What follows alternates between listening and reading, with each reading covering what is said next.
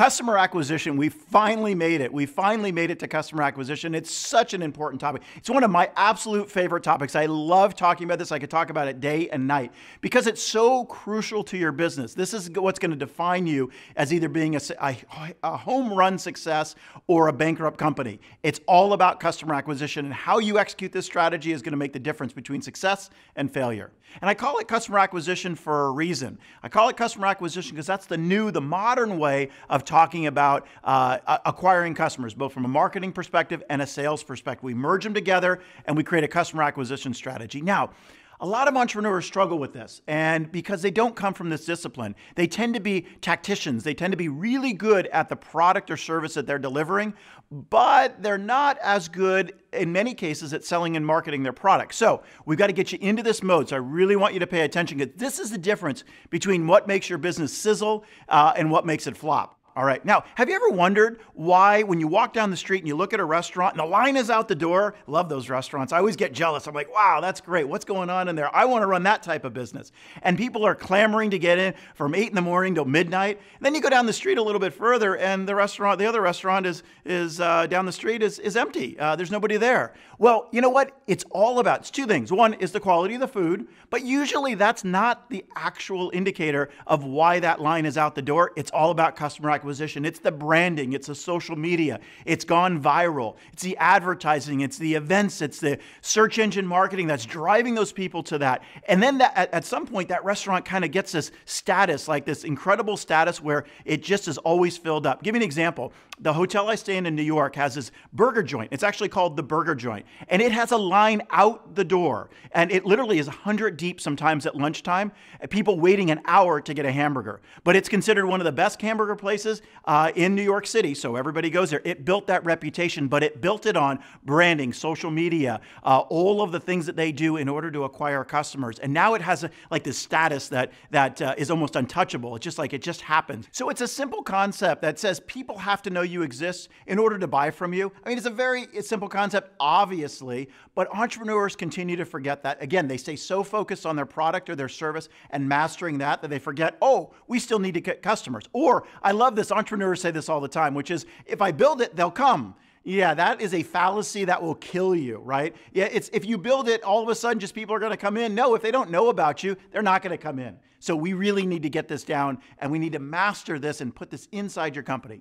Now, I want to talk a little bit about entrepreneurial types for just a moment here, because there are different types of entrepreneurs that will identify this. Some people that are watching me right now are like, I got it. I'm a sales and marketing guy. Uh, they're thinking to themselves, I got this one nailed. This is the fun stuff. This is where I can re- I can use all the knowledge over the last 20 years of selling or marketing. I'm going to nail this. There are other entrepreneurs that are watching this video right now that are product people or they're operations people or they're finance people, and they're going, oh my goodness, I have no idea how to sell a product. I'm shy in front of people. I don't want to actually sell it. I'm going to go hire somebody else to do it. And I really, know a lot about marketing. So, you know, that's a, it's a foreign thing to me. Now, I'm a marketing and sales guy. My entrepreneurial type is marketing and sales. That's how, as a CEO, that's how, that's my discipline. I went out on every sales call uh, at MarketLive, my prior company, when we were closing deals. Like every customer I met in the history of the company. And that was like 21 years. So it was a lot of shaking hands, a lot of what we call CEO hugs, where you go into the executive meeting and you'd finalize the deal. Because that's the kind of person that I am. There are other people that are want to sit in the back corner. They're technicians. They're going to tinker with the product, and that's okay. But if you're the founder, if you're the entrepreneur, you need to come out of your shell and you're going to need to be seen because your customers expect to see you as well. This is a really, really important thing. The wrong thing to do is to leave up sales to somebody else. Like, oh, I'm not going to worry about it. I'll just hire a great salesperson. That's right. Hire a great salesperson, but you need to go along with them because you're the expert. That's who your customers want to hear from. That's who they want to see. They want to see you. So let's make sure we do that. You've got to put a marketing mindset into your overall existence. That means that you always have to be thinking with your marketing cap on. It's not that difficult. A lot of marketing concepts are pretty easy to gather, but we've got to get them organized, we've got to get objectives done, and we've got to get them into an action plan where we can make this thing go. So, customer acquisition, as I said earlier, is made up of two things it's made up of marketing and of sales. And you really need to put them together in order to call it kind of customer acquisition. Now, Now, marketing is getting your customers to know that you exist. It's creating demand for your product or service. Selling is actually getting your customers to pay for your product or service. So you've got to marry getting them to know you exist with actually getting them to write a check or give you cash or whatever. Bring those two together, and that's what we mean by customer acquisition. Customer acquisition is kind of the modern term for sales and marketing. In a lot of business plans, by the way, the older business plans and the older boring outlines that you might have looked at instead of ours, new and modern, uh, those older boring outlines, we'll call it marketing strategy and sales strategy. And that's fine. But we're going to put a banner over that by calling this is the customer acquisition section of your business plan. And I will tell you, investors will identify with it. They actually like the term customer acquisition. It's much more active. You're going to acquire customers and make money because that's what they care about. So, the definition, if I was to give you a definition of customer acquisition, it's the act of getting people both interested in your product or service and buying your product or service. The systematic way that you attract and secure customers.